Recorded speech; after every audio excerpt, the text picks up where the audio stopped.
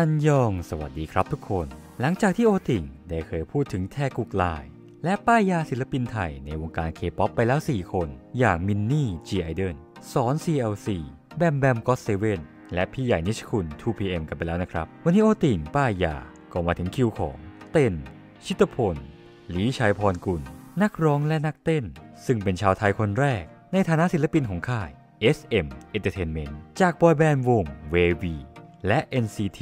และเขายังเป็นสมาชิกของยูนิต NCTU และสุดยอดวงบอยแบนด์เจ้าของฉายา Avenger K-pop SuperM เรื่องราวน่าสนใจของเขา จะมีอะไรบ้างไปดูกันเลย ล่าสุดวันที่ 10 สิงหาคม 2021 เตนล์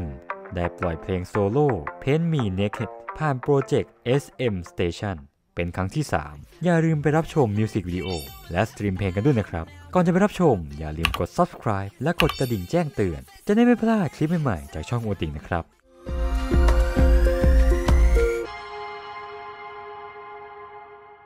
ชิตพล หลีชัยพรกุล มีชื่อเล่นว่าเต็น เขายังมีชื่อจีนว่า หลี่หยงชิน และชื่อเกาหลี อียองหึง เกิดเมื่อวันที่ 27 กุมภาพันธ์ 1996 ที่กรุงเทพมหานคร ประเทศไทย ครอบครัวของเต็นเป็นชาวไทย เชื้อสายจีน เขามีน้องสาวหนึ่งคนที่อายุห่างกัน 3 ปี ชื่อ เติน เต้นพูดภาษาอังกฤษได้อย่างคล่องแคล่วตั้งแต่เด็กเพราะเขาได้รับการสนับสนุนจากครอบครัว เขาศึกษาในโรงเรียนชื่อดังของประเทศไทย โรงเรียนที่มีค่าเทอมสูง อันดับต้นๆของประเทศ ตั้งแต่ระดับอนุบาลที่โรงเรียนอนุบาลเด่นล่า และระดับประถมศึกษา ถึงมัธยมปลาย ที่โรงเรียนนานาชาติชูสเบอรีเต้นเป็นเด็กที่กล้าแสดงออกตั้งแต่เด็ก เราจะได้เห็นคลิปที่เขายืนจับไมค์ร้องเพลง หรือเต้นอยู่เสมอ ซึ่งเราจะได้เห็นเด็กคนหนึ่งที่สวมเสื้อกล้ามขาว สาธิตการเต้น Dance for Girl และเขาสามารถเล่นเปียโนได้อีกด้วย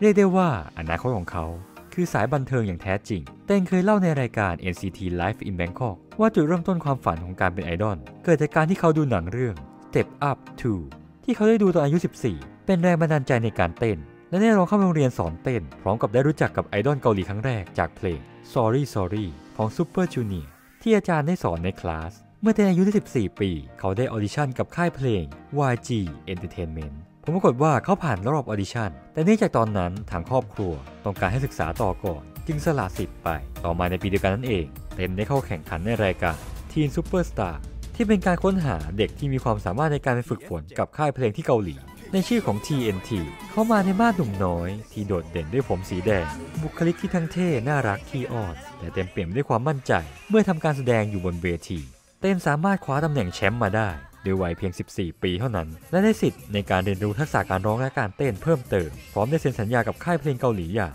Starship Entertainment ต้นสังกัดของศิลปิน SISTAR Boyfriend และ K.Will ในเวลานั้น แต่เนื่องจากติดปัญหาบางประการ เตนล์จึงได้สละสิทธิ์อีกครั้ง ก่อนที่เดือนมีนาคมปี 2013 เตนล์ก็ได้เข้าร่วมการ audition อีกครั้งใน SM Global Audition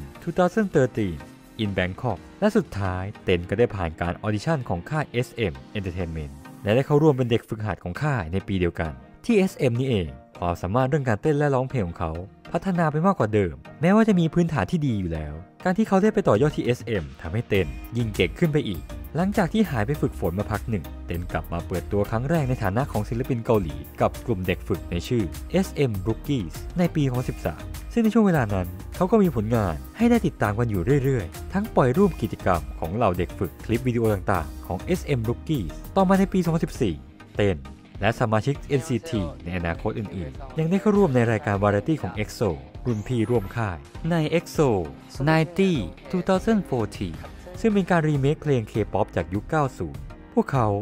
ยังมีมินิคอนเสิร์ต SM Lookies Show in Bangkok ที่เรียกได้ว่าได้รับการต้อนรับอย่างอบอุ่นล้นหลาม และยังเป็นการสร้างฐานแฟนคลับชาวไทยอีกด้วย รวมถึงมีการถ่ายทำ NCT Live in Bangkok เยี่ยมโรงเรียนเก่าสมัยมัธยมของเต้น ทั้งแข่งกินอาหารไทย และความสนุกอื่นๆ อีกมากมาย ที่สามารถดูกันได้แบบเพลินๆ ยาวถึง 6 ตอน สามารถรับชมได้ทาง True for You ก่อนที่วันที่ 3 เมษายน 2016 เต้น และสมาชิก SM Rookies อีก 4 คน ซึ่งได้แก่ แทยง โดยอง แจฮยอน และมาร์ค ได้รับการเปิดตัวในฐานะสมาชิกของ Boy Band NCT ภายใต้ยูนิตย่อย NCTU ยูนิตแรกของ NCT พวกเขาได้เดบิวต์อย่างเป็นทางการในวันที่ 9 เมษายน โดยดิจิตอลซิงเกิล The Seven Sense 사주지 나를 해를 서 매일 반복되는 매일도 괜찮다고 깊은 어둠 위를 걸어 저 너머에 숨긴 แม้ว่าเพิ่งจะเดบิวต์เป็นไอดอลน้องใหม่ แต่ความสามารถด้านการเต้นของเขาก็เฉิดฉายมากขึ้น หลังจากที่เขาได้เข้าร่วมในรายการเต้น Hit the Stage ของ Mnet ที่ต้องแข่งขันกับสมาชิกรุ่นพี่ทั้ง boy band และ girl group มากมาย แต่เตนล์ก็สามารถแสดงความมั่นใจ และจัดเต็มการแสดงได้อย่างลื่นไหล ไม่มีที่ติ โดยเฉพาะ concept devil ที่แม้ต้องแสดงเป็นคนแรก แต่ก็สร้างความประทับใจให้แก่ทั้งคนดูและกรรมการด้วยท่วงท่าสุดโหดอย่างการบิดตัว และคลานด้วยท่าสะพานโค้งกลับหลัง จนคนดูต้องอ้าปากค้างไปตามๆกัน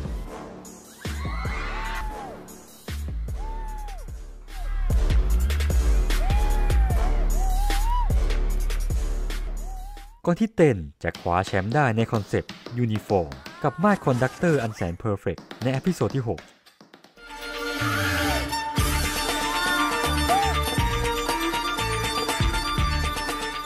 และในรายการนี้เองที่ทำให้เตนล์เป็นที่รู้จักมากขึ้น จากทักษะการเต้น ความมุ่งมั่นในการทำโชว์ของเขา ถึงแม้ว่าในขณะนั้นเตนล์จะมีอาการบาดเจ็บที่หัวเข่าก็ตาม และด้วยสไตล์การเต้นที่ไม่เหมือนใครของเตนล์ทำให้แม้แต่รุ่นพี่อย่างแทมิน dance machine แห่งวง SHINee ยังเอ่ยปากชื่นชม ยกขึ้นแท่นให้เป็นรุ่นน้องคนโปรดอีกด้วย ในเดือนมกราคม 2017 เขายังได้เข้าร่วมรายการ Elementary School Teacher ของ SBS ซึ่งจะให้ไอดอลชาวต่างชาติ พัฒนาทักษะภาษาเกาหลี รวมทั้งทำความคุ้นเคยกับวัฒนธรรมเกาหลีมากขึ้น อย่างไรก็ตาม เตนล์ไม่สามารถขึ้นแสดง หรือทำกิจกรรมใด ๆ กับวงได้ เนื่องจากอาการบาดเจ็บเรื้อรังบริเวณหัวเข่า จากการซ้อมอย่างหนักเพื่อโชว์ในรายการ Hit the Stage จนต้องได้รับการผ่าตัดเข่าในช่วงวันเกิด และพักฟื้นอยู่นานหลายเดือน จนสร้างความเป็นห่วงให้บรรดาแฟนๆ อย่างมาก ก่อนที่ต่อมาวันที่ 24 มีนาคม 2017 SM ก็ได้ปล่อย teaser สำหรับซิงเกิลแรกของเตนล์ที่ถูกถ่ายไว้ก่อนที่จะเข้ารับการผ่าตัดในโปรเจกต์ SM Station Season 2 ในชื่อ Dream in a Dream และได้ปล่อยมิวสิกวิดีโอในวันที่ 7 เมษายน From your ในวันเดียวกันนั่นเอง SM ก็ออกประกาศว่าเตนล์ได้เข้าร่วมเป็นหนึ่งในทีม SM The Performance หลังจากหายไปเกือบ 1 ปี เตนล์ก็ comeback อีกครั้ง ในวันเกิดของเขา 27 กุมภาพันธ์ 2018 ผ่านเพลง Baby Don't Stop ในอัลบั้ม NCT 2018 Empathy ซึ่งเป็นเพลงดูโอจากสมาชิก NCTU ระหว่างเต้นและอีแทยง ความลงตัวระหว่างน้ำเสียงไพเราะและโดดเด่นของเต้นกับการแรปสุดเท่ของแทยง ท่าเต้นและเนื้อเพลงสุดเซ็กซี่ขยี้ใจพายอดวิวมิวสิกวิดีโอบน YouTube พุ่งทะลุ 2 ล้านวิว ภายใน 24 ชั่วโมง ซึ่งทั้งคู่ยังได้ปล่อยเวอร์ชันภาษาไทย มอบเป็นของขวัญพิเศษให้แฟนๆ ในงาน fan meeting สุด exclusive ครั้งแรก และครั้งเดียวในประเทศไทยมาแล้วด้วยออกาย Baby don't stop don't stop want you to my baby don't ต่อมาเตนล์ก็ได้มีผลงานกับโปรเจกต์ SM Station อีกครั้ง กับซิงเกิลเพลง New Heroes ในวันที่ 6 เมษายน 2018 แนวเพลงแบบ EDM Pop สไตล์ Future Bass ผ่านเนื้อเพลงที่ใช้ภาษาอังกฤษทั้งหมด ที่พูดถึงเรื่องราว ความพยายามและความตั้งใจ ไม่ย่อท้อของคนยุคใหม่ ที่สามารถกลายเป็นฮีโร่ได้ ต่อให้ได้อยู่ในสภาพแวดล้อมแบบไหนก็ตาม New heroes We're the new heroes ซึ่งทันทีที่ปล่อยเพลงนี้ออกมา ก็ได้รับกระแสตอบรับที่ดีมากมาย ทั้ง location ที่ใช้ถ่ายทำถึงลอสแองเจลิสอเมริกา และเพลงนี้ได้รับความนิยมและกระแสตอบรับที่ดี จนขึ้นเป็นอันดับที่ 4 ในชาร์ต Billboard World Digital Song Sales ณขณะนั้น ต่อมาเขาได้ปรากฏตัวในมิวสิกวิดีโอ Black on Black ในฐานะสมาชิกของ NCT 2018 ร่วมกับเพื่อนสมาชิกอีก 17 คน ในอัลบั้ม NCT 2018 Empathy ที่รวบรวมเอาเสน่ห์และสีสันทางดนตรี ในแบบต่างๆของทุก unit อย่าง NCTU NCT e l e c h i l และ NCT Dream ไว้ในอัลบั้มเดียวกัน ในเพลง Black on Black แม้เพลงนี้จะไม่ได้ยินเสียงร้องของเตนล์แต่เราจะได้เห็นเตนล์โชว์สเต็ปเบรกแดนซ์อันโดดเด่น หลังจากได้รักษาอาการบาดเจ็บที่หายดีอย่างเต็มตัว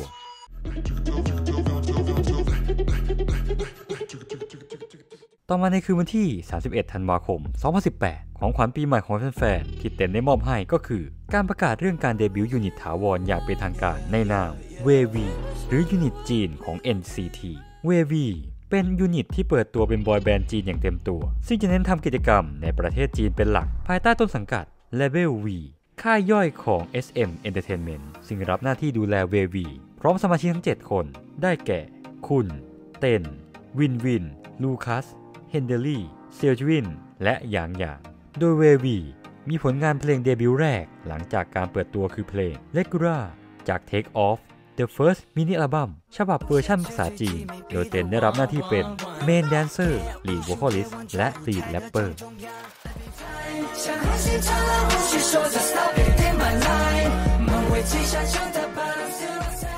ด้วยความที่เววีโปรโมทในประเทศจีนเป็นส่วนใหญ่ทำให้ระหว่างที่ฝึกซ้อม เตนล์ต้องเรียนภาษาจีนเพิ่มเติมอีกด้วย หลังจากที่เดบิว ในฐานะสมาชิกวง WayV ได้ไม่นาน วันที่ 8 สิงหาคม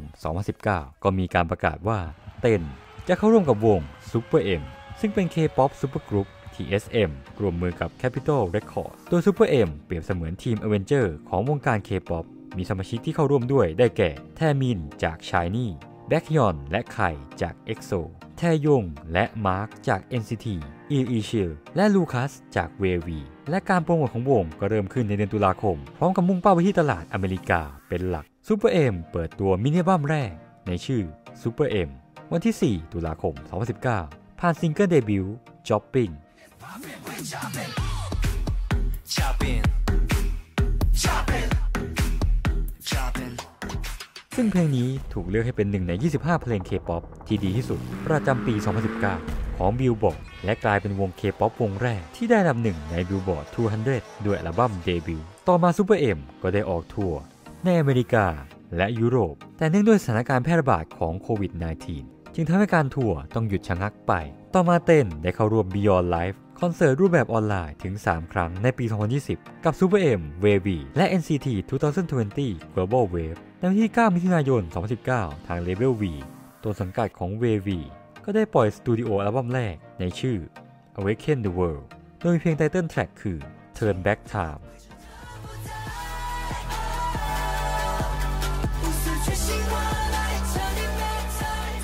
ในวันที่ 25 กันยายน 2020 SM Entertainment ก็ได้ปล่อยสตูดิโออัลบั้มแรกของ Super M Super One โดยมียอดขายอัลบั้มรวมกว่า 5 0 0 0 0 0 โดยมีเพลงไตเติลแทร็กคือ One Monster and Infinity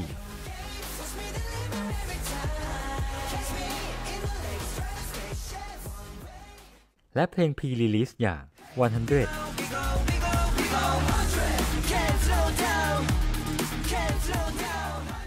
และ Tiger Inside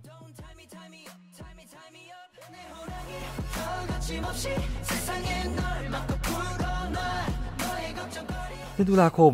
2020 SM ก็ได้ประกาศเปิดตัวโปรเจกต์ NCT 2020 ภายใต้อัลบั้ม NCT 2020 Resonance Part 1 and 2 มีเพลงไตเติ้ลแทร็ก4 เพลง อัลบั้มละ 2 เพลง โดยเต้นได้อยู่ในไตเติ้ลแทร็กของอัลบั้มที่ 2 ทั้ง 2 เพลงซึ่งได้แก่ 90s Love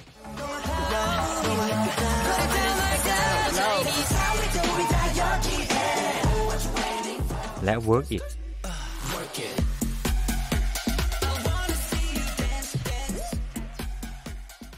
และเพลงรวม Resonance นอกจากผลงานในเกาหลีและจีนแล้ว เตนล์ก็มีผลงานในประเทศไทย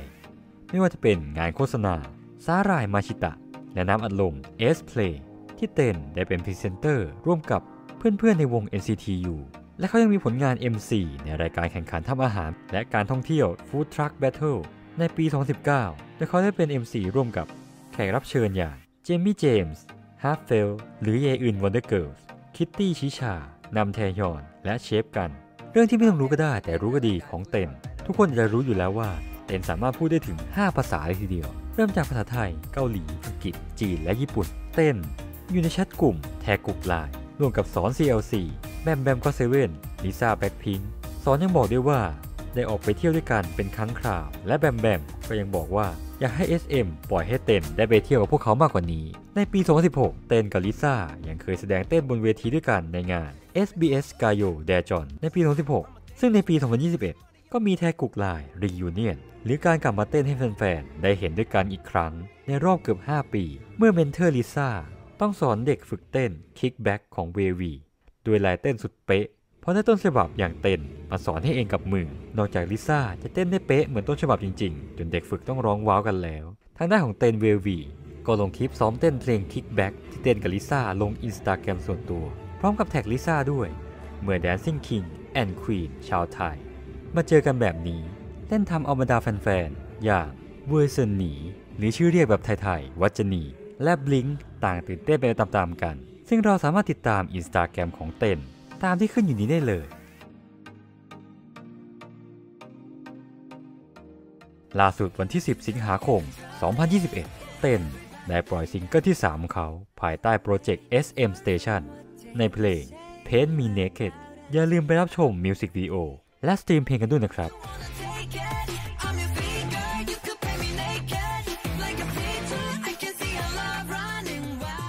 เตนล์ ถือเป็นไอดอลที่เป็นแบบอย่างในเรื่องของความมุ่งมั่นตั้งใจ เขาต้องฝึกฝนอย่างหนัก ทั้งกายทั้งใจ รวมถึงเรื่องของภาษา อีกทั้งยังผ่านการต่อสู้กับอาการบาดเจ็บหัวเข่าเรื้อรัง ถึงขั้นต้องผ่าตัด แต่เขาก็พิสูจน์ให้เห็นแล้วว่า เขาได้ก้าวข้ามผ่านอุปสรรคต่างๆ จากเต้น SM Rookies เต้น NCTU มาจนถึงเต้น NCT WAV และ Super M ที่ประสบความสำเร็จอย่างทุกวันนี้ เป็นยังไงบ้างครับกับเรื่องราวของเต้น ชิตพล หลีชัยพรกุลนี่เป็นเรื่องราวส่วนหนึ่งของเขาเท่านั้นที่เราได้รวบรวมมา ชอบเพลงไหนของเขากันบ้าง หรือใครอยากเสริมผลงานอะไรอีก คอมเมนต์บอกกันได้ หากมีผิดพลาดอะไร ก็ขออภัยด้วยนะครับ สุดท้ายนี้ฝากกดไลค์กดแชร์ ทุกช่องทางของเรา และอย่าลืม